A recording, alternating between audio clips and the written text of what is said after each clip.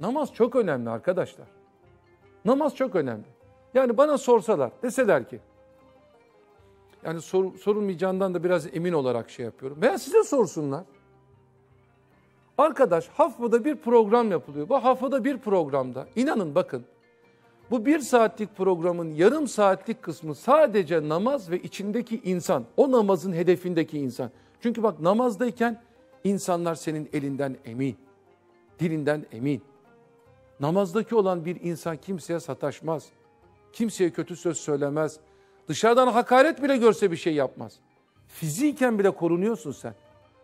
Namazdaki bir insana eziyet etmek, sair yerdeki insana eziyet etmekten daha farklı bir şey de görüyor. Sebebi o an sen kendini durduruyorsun aslında. Kainat devam ediyor. Meselelerin devam ediyor. Düşmanların da var, dostların da var. Çoluk çocuğun da işin de devam ediyor. Sen kendini durduruyorsun. Ama çok hareketlisin. Çünkü kendini durdurduğun yer Allah'ın huzuru. Allah da hiç merak etme. Allah'ın huzurunda kendini durdurmayı başarıyorsa. Sen niye dedenle alay ediyorsun ki? Sen dedeni arkada görüyorsun. Geride kaldı zannediyorsun. Halbuki deden sana tur bindirdi haberin yok. Bak kendini durdurmanın yolu namaz. Kendini Allah'ın huzurunda durduruyorsun. Öyle bir şekilde durduruyorsun ki mülkün sahibi Allah huzurunda durduğun müddetçe seni temin ederim. Sen o namazdan Esselamu Aleyküm ve Rahmetullah Esselamu Aleyküm ve Rahmetullah diyerek onun huzurundan ayağa kalktığında ne işini, ne aşını, ne eşini, ne de kendini kaybetmiş olarak kalkmayacaksın. Eşini, işini, aşını, zevklerini, sana lazım olacak en güzel şeyleri ve kendi benliğini biraz daha tanıyarak kalkacaksın. Seni temin ederim. Namaz seni insan yapar. Namaz sadece ahirette yanmaman için, cehenneme düşmemen için sana söylenmiş bir şey değil. Bir insan cehenneme düşecekse zaten bu dünyada kendisini belli eder. Ondan ah alır, buna yan gözle bakar. Herkes yaka silker. O adamı sen cehenneme gitsin diye zaten herkes dua eder. Allah der senin şey yapsın. Bilmem ne. Arada konuşuyorduk işte o. Mesela kutuplarda foklara bilmemlere eziyet edenler var. Derisini daha iyi yüzebilmek için hayvan canlıyken onu döve döve döve döve yağlandırıyorlar. Ödem yapıyor vücudu. Diri diri onu o eziyeti yaptıktan sonra ne yapıyorlar? Bizim defileler şurada burada millet çıksın hava atsın diye sanki donacak onu boynuna asmazsa. Hikaye.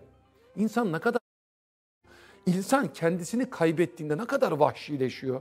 Hiçbir hayvan bu eziyeti yapmaz. Yiyecekse oturur yer. Bu kadar eziyet yapmaz.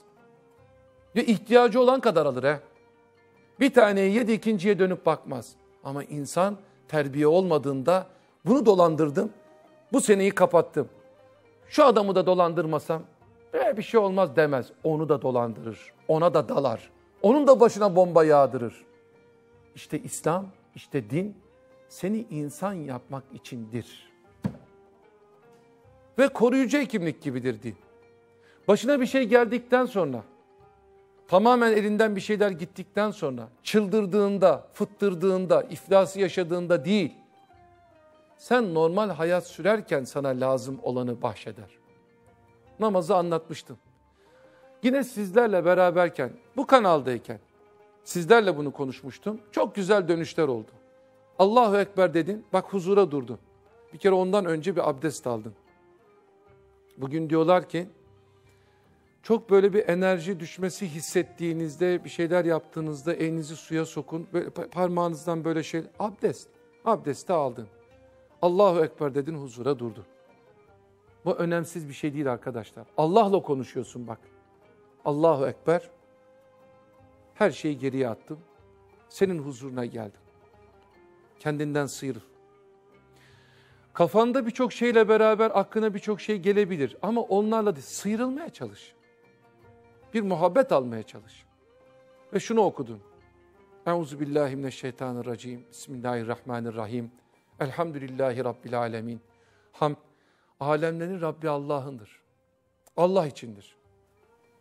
İçinde yaşadığım alem ve benim göremediğim cümle alemlerin terbiye edicisi Allah.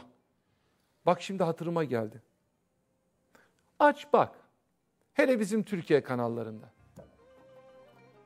Hocam Esma-ül Hüsna'da şunu ne kadar çekersek neremize iyi gelir? Bunu ne kadar çekeyim? Esma-ül Hüsna, İsmi Azam'ın sırrı falan o gırla gidiyor. Şunu şu kadar çekersen bu olur, bunu bu kadar çekersen çocuğun gözü mavi olur. Basur'dan kurtulmak için bunu yap, zayıflamak için şu Esma'yı çek. Artık gidiyor da gidiyor. Yani bir adam zırvalamaya görsün zaten canım. Bir adamın şirazesi kaydığında artık her şey olur yani. Ama bak şimdi, hiç düşündün mü? Sana söyledi mi birisi? Namazın içerisinde sana lazım olacak tüm Esma-ül Hüsna var. Namazın içinde, iki rekat namazda. Bak, Allahu Ekber diyorsun zaten bir kere Allah, namaza Allah diye başlamak namazın farzı. Sübhanallah diye başlayamazsın. Yani. Sübhan diye başlayamazsın. Gufran diye başlayamazsın. Allah diyeceksin illa. Allah demek farz, Allahu Ekber demek vacip. Farza yakın. Yani Allahu Ekber diyorsun. Allahu Ekber dediğinde şunu diyorsun. Dinliyor musunuz arkadaşlar? Birazdan ayrılacağım. Sonra hocayı niye dinlemedim diye üzülmeyin. Gerçi siz böyle şimdi tuhaf tuhaf bıyık altından da gülüyorsunuz. Hocam tekrarını seyrediyoruz ben program falan dersin ama hiçbir zaman ilk duyuştaki heyecanı vermeyebilir. Hocayı elinin altında hisseder gibi dinlersen veya bu konuları çok böyle elinin altında gibi görürsen belki sana tesir etmeyebilir. Hiç son kez dinliyormuşum. Belki bir daha fırsat bulamayacakmışsın gibi dinle. Tavsiyem o. Ben bunun çok yararını gördüm. Bak şimdi. Allahu Ekber denildiğinde daha evvel söylemediğim şekliyle şunu anlatıyorum. Allahu Ekber Allah büyüktür demek. Aynı zamanda büyük dediğim şey Allah'tır demek. Bak arada fark var. Allah büyüktür. Bazıları diyor ki Allah en büyüktür. Bunu söylemeliyiz. En büyük neye göre kıyaslıyorsun? Allahu Ekber şu demektir. Büyüklük dediğinde aklına gelen Allah olmalı demektir. Allahu Ekber o demektir. Büyüklük diye bir şeyi hayal ettiğinde bir düşüncen varsa o, o büyüklük Allah'a aittir bunu unutma demektir. Şimdi biz bunu şöyle anlıyoruz. Allahu Ekber evet hakikaten ben de çok küçüğüm. Ya tamam canım Allah büyüktür gibi anlıyoruz. Öyle değil. Sorunların mı var? Problemlerin var değil mi? Evet. Hayat gailesi çekiyor musun? Çekiyorsun. Doğru zamanda doğru yerde buluşmak, bulunmak ve öylece evlenmek falan gibi tut da hastalıktan bilmem neye kaygıya kadar ne kadar çok sorunların var senin. Benim de öyle. Bak Allahu Ekber denildiğinde hiç bunu düşündün mü? Bunların hiçbirisi büyük değil. Allah büyük diye namaza durduğunu düşündün mü hiç? Bu bile adamı durdurur bak. Problemlerim var. Borçlarım var. Hayatla alakalı kaygılarım var. Sıkıntım var. İhanete uğradım. Yanlışlık yaptım. Günahkarım. Hiçbirisi Allah'tan büyük değil. Allahu Ekber. Elbette Allah büyük. Benim Allah'ım var demektir o. Ben büyük olan Allah'a tabi olmuşum. Sorunlarım daha büyük olamaz. Ben daha büyük olamam. Benim bana düşmanlık yapanlar Allah'tan büyük olamaz. Dikkat et, dikkat et. Dostluk yapanlar da Allah'tan büyük olamaz. Çocuğum diye bakarım, iki sene sonra nankörlük görebilirim. Arkadaşım derim, ihanet görebilirim. Herkesten bu görülebilir. Allahu Ekber. İstinat noktam, bağlandığım nokta kaybolacak, gidecek bir nokta değil. Ben değişmeyen büyüklüğün, değişmeyen nimetin, değişmeyen sahibimin olduğu yerdeyim. İşte buradayım. Allahu Ekber dedi. Bitti. Rehabilitasyonun 30-40 seanslık rehabilitasyonun hepsi bir dakikada bir sözcükçe sığdı. Allahu Ekber.